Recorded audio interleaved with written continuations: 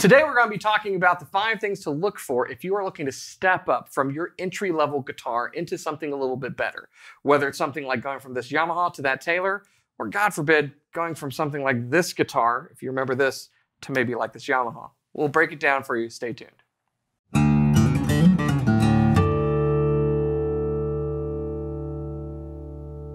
Hey, you're watching Alamo Music TV. My name is Chris McKee. And I'm Sneezy Greenberg. We're here with Alamo Music Center in San Antonio, Texas. You can find us online at alamomusic.com. If you're new to the channel, please make sure to subscribe, turn on notifications, like our videos. If you'd like to support the channel, make sure to visit our Teespring store linked below for some custom designed t-shirts. Of course, you can buy things from our website too. That's always helpful. Mm-hmm. So, uh, getting over your allergies, Cooper. Thank God it's allergies. All right, guys. He's sneezing, but we're okay. We're, we're okay. Taking it easy. It's we're not the Rona. um, hey, before we start, actually, I'd like to take a moment and thank everybody who watches our videos, who comments below. Uh, I believe you're kind of part of our community, and uh, you know, I've really gotten uh, a joy of getting to know people over the years. It's my goal that by the end of the year or into next year, we'd be at 100,000 subscribers. And right now, we're over 60,000, which I never would have thought if you'd seen how our videos started out about six years ago. So, you know, please, if you haven't already, I'd love for you to click subscribe if you're enjoying our content.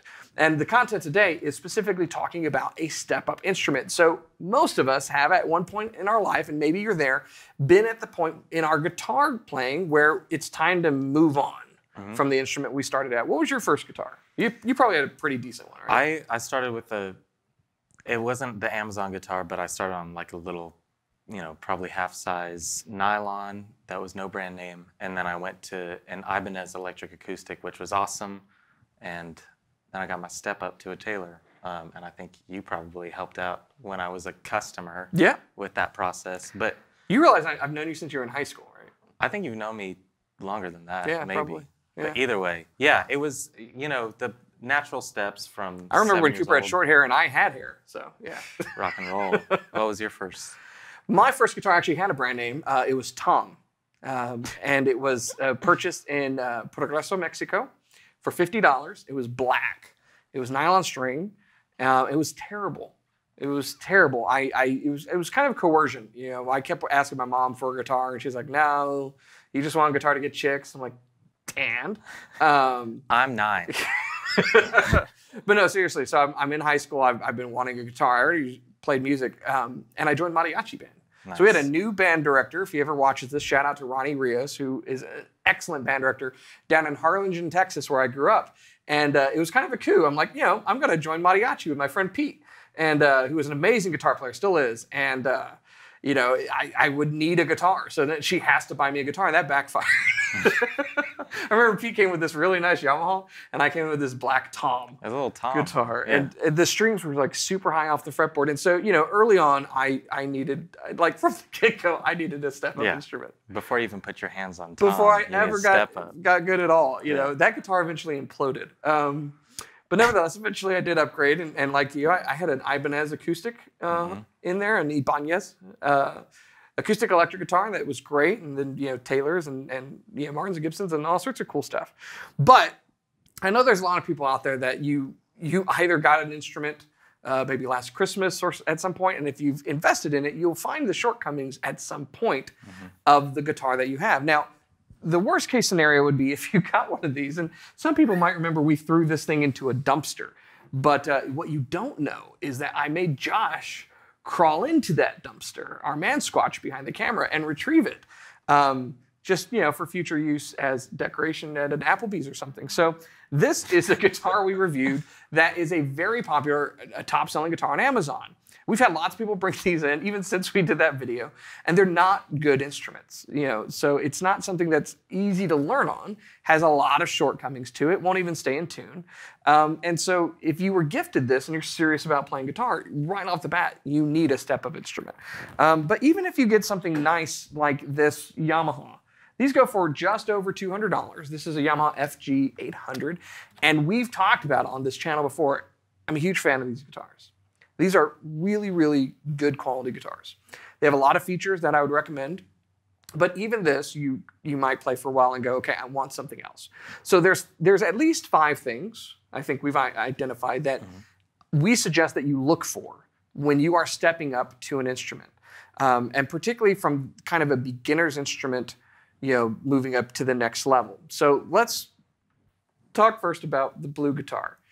You want a guitar, regardless, that stays in tune, uh, is easy to play, comes from a reputable name brand, not just because name brands are cool or something like that, but there's quality and craftsmanship and warranties Yeah. and and uh, customer service and dealer networks and all this stuff that kind of exists behind that stuff.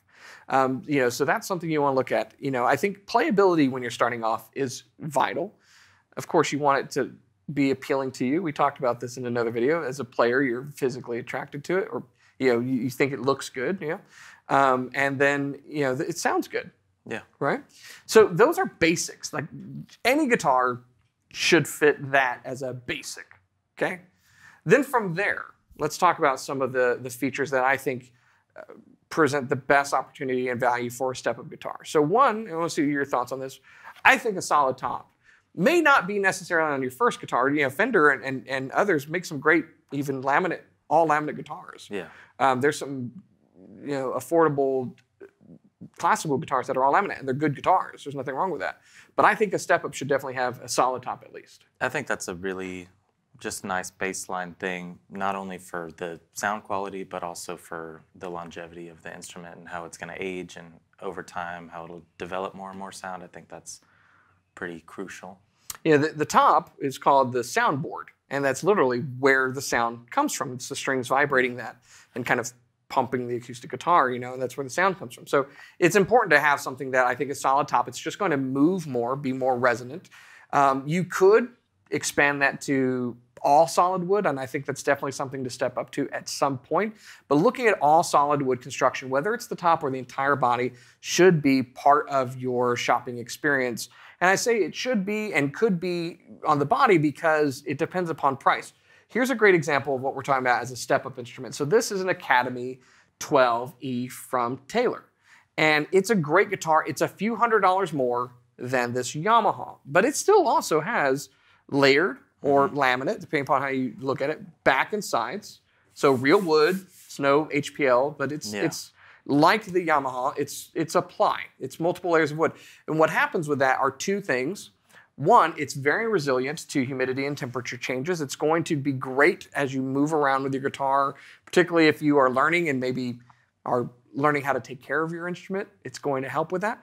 Um, but because it's multiple layers of wood, like plywood, it's really strong. It doesn't move around so much. So solid wood is in a great instrument preferable. It's more resonant. It vibrates more, but it's more expensive. You know, it's it's it's harder to work it uh, work on in a factory standpoint. It's you have to curate all sorts of things. So you know that would kind of even be the next step up. I don't know that you'd go from a two hundred or three hundred dollar guitar to an eight hundred dollar guitar necessarily. You might maybe even go to a thousand dollar guitar, in which case that comes into play. But I think at least the top should be solid. Yeah. Agreed. Definitely. Yeah. Cool. Now the next thing I think is, you know, bracing's part of it, but I don't think that's the next thing. I think the next most important thing, and maybe even more important than top potentially, is feel. What do you think? Well, yeah, that's, I mean, what you're going to encounter first when you pick up your instrument. And sound quality and everything is obviously crucial, but you want it to be comfortable. And um, like this, unlike a lot of maybe, Yeah, good you know, the lower numbered series in Taylor's lineup, this is a step up from, say, an all laminate guitar, but it does have certain comfortability factors like the beveled uh, armrest area. You know, it's got a very comfortable neck. It's got a nice satin finish that's very Mm-hmm. smooth, and um, yeah, I think the feel is huge. You know, looking at this Yamaha, these these play great and they feel great, but your your interaction with the guitar neck is really the most intimate interaction you have with the instrument is with your left or right hand if you're left-handed you know fretting the instruments holding the neck. This is this is where you have the most contact. And so i think the feel the setup and kind of the quality of the instrument is incredibly important. I learned something about yamaha. Above a certain price point they all get kind of a more meticulous setup.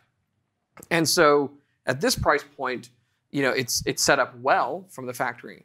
But when you move up to a more expensive guitar, they take more time and attention to it because, you know, you're paying a little bit more. It pays for that time and attention. That's just how these things work. And uh, and I've noticed it in picking up some of their uh, like the A, A series instruments, for instance, uh, which is another great kind of step up option. You know, the the feel of the neck, not just the carve, but really the attention to detail on the setup uh, is much improved. Yeah. I would also say when it goes into feel, if you're like a lot of people that we know and your first guitar may have been like an FA 125, like a Fender Dreadnought, or if you're playing a large Dreadnought as a beginner and you're not the largest person, you know, you're not, it's not super easy and it's not a very comfortable guitar. So um, for certain types of players, so it might not even be like a step up, but just laterally find the body shape that is comfortable in, in that feel because there's not a ton of options when it comes to like the lowest entry level. But then when you're stepping up, you can always experiment with different shapes that might fit you better. Um, Well, that's a, that's actually a point that I wanted to bring up because I, I think, generally speaking, to your point, most affordable entry level guitars, and we're talking about the guitars that typically come in a pack, for instance, or are right around that 150 to 200 dollar price point. Most of them, if not all of them, when it comes to steel string guitars, are dreadnought guitars. It is. I mean, this is the quintessential kind of steel string flat top acoustic guitar shape, by and large. But you look at something like that, which is a you know Taylor Grand concert size, and, and it's much more smaller, even though it's still a full size guitar. And so for someone who may be more petite, for instance, uh, you know that's probably preferable. And you just don't see a prevalence of small bodied guitars until you reach a certain price point. Yeah. Generally speaking, there are a few out there. I know you'll probably put in the comments, well, what about this one? There are absolutely some exceptions, but generally speaking, you get more body shape options you know, once you move up in price. And that actually brings up another um, option that becomes available and I think is important to understand it and look at, and that's electronics. yeah. You know, one of the one of the biggest differentiators between say like this, there's this FG 800 and then an FGX 800C is two things that happens when you go to a step up instrument: electronics and a cutaway. They become options, right? Uh, there's a lot of models that then have it for a few hundred dollars more. The rest of the guitar is the same, right? An FGX 800C is this guitar with a pickup and a cutaway, right? Yeah. And so, you know, this is a great guitar. It's not taking anything away from that. But if you move up to a step up guitar, know that, you know, generally, if, if we're talking about solid tops and better, you know, playability, action, articulation from the instrument, all that stuff, you know, the pickups then tend to get better too. Is that what you have found in your experience? Definitely what I have found. So when I went from my Ibanez electric acoustic um, to I went to a 214 CE Taylor. Um, I always plugged in because I was starting to play these terrible gigs, um, and just the quality of say the expression system, or if you get a Fishman, if you get an LR Baggs, like it makes such a difference in accentuating the natural sound of the guitar um, than something that's you know you're stepping up electronics when you step up the quality of the guitar i think but it's it's important for sure especially if you're going to be gigging Yeah. Well, and I think even the the manufacturers of the the pickups understand this. So, uh, you know, you might find a Fishman pickup on a variety of guitar models uh, at a certain price point that has a certain feature set to it, and then you go to a Fishman system in a more expensive guitar model, and it has a different feature set to it. Maybe it's dual source where it has a microphone as well, or there's more uh, controls on the preamp beyond just volume and tone, for instance. Um, you know, multi-band equalization and phase switches, and, and all of these things that kind of come part and parcel with buying something that's you know a little bit more expensive and has more features. And so I think features is the other thing to look at. So you brought up the armrest bevel on there. Yeah. Okay. which is Um, not the most common thing for Definitely not yeah. the most common thing. Yeah. Yeah. But there's all sorts of features. There's improved tuners. There's whether or not it has a strap button. Okay, this one doesn't have a strap button on the heel, you know, but more expensive models of other guitars do. Taylor definitely does for a very specific reason. It's a bolt-on neck, um, you know, and and so you know you look at that. You look at the tuners that have been upgraded. You look. I don't even want to say aesthetics, but that is going to be one of the things. If you're looking at more expensive guitars, there will be other aesthetics. There will be inlay and stuff. Most of it's plastic, or some of it's stickers. I none of it translates to the playability or the sound of the guitar, but it does the aesthetics, which we mentioned is important. So that's certainly a feature that you should look at. Um, but more so, I, I, would say that it's it's some of the the design, the the hardware, the uh, the things like the nut, the saddle, and we talked about this with a Fender guitar, right? There's two acoustics that are separated by about 130 dollars or something like that, and it's the pickup, it's the saddle, it's the nut. You know, it's, it's those things that really make up the difference, and a case. Yeah. Um, so you know, these are the things. Um, part of the features is indeed a case. This one doesn't come with anything. That one comes with a gig bag. Mm-hmm. Some guitars in a slightly higher price point are going to come with a hard shell case. So that's definitely important. And then the last thing I think is, and I, I put this last because I think it may be in this discussion one of the hardest things to quantify until you're playing the instrument, but that's bracing. So bracing, this guitar comes with scallop bracing, which I think really was a game changer when they did that on these guitars. It went from the FG700 to the 800 scallop bracing, really opened up the sound of the guitar. It talks about how important it is to the resonance and the sound that you get from the instrument. That also has scallop bracing. Now, I don't know that we can just say scallop bracing. Taylor's doing V-class bracing on guitars. There's all sorts of bracing patterns, but is it just bracing or does the manufacturer who's building the guitar do something? Do they advertise some benefit to some system that they've implemented to ensure that the guitar is improved? Take a look at those things because, and here's why I say this, and, and maybe even previously, uh, denounced inlays and some things like that. There's a lot of guitars within a certain price range, and I'm thinking, and check me on this, see if I'm right, between about 500 to 800 dollars. There's a range of guitars where some of them are huge improvements over the less expensive variety, and some of them just have fancy stuff that's been kind of stuck onto them. Yeah. Do you think that's fair? Yeah, I definitely think so. I think it's like when you see the car that has like the stick-on vent that someone bought at Walmart. You know? Yeah. Did it make it faster? That kind of thing. I think that you're bringing up an interesting point because there are whether you're going from your very first guitar to your first step up or even stepping up within this massive range of guitars that exist there sh- there will be a point when the next highest thing that you can go to is very fancy custom aesthetics once you're already up at a Taylor 914, you're really going to be stepping up to, say, a presentation series after that. And yes, the woods are different, the sounds are different, but then you're getting into meticulous territory where you're looking at aesthetics and something that is absolutely tailor made, no pun intended, to what you want it to look like, all the fancy pants stuff. But I don't think that purely aesthetic step ups should really occur before right. that point. Um, if you already play an ama- you already play an American Ultra Strat, then you're going to be moving up to custom shop. You know, it shouldn't be moving from American Performer to American Professional to just based off of aesthetics. There's specific things that you can draw quality, you know, and value from, like everything that you've mentioned, and you should be wary of those that is just a fancier inlay but 300 extra dollars would, right. you know, yeah, I think that's an interesting point to bring.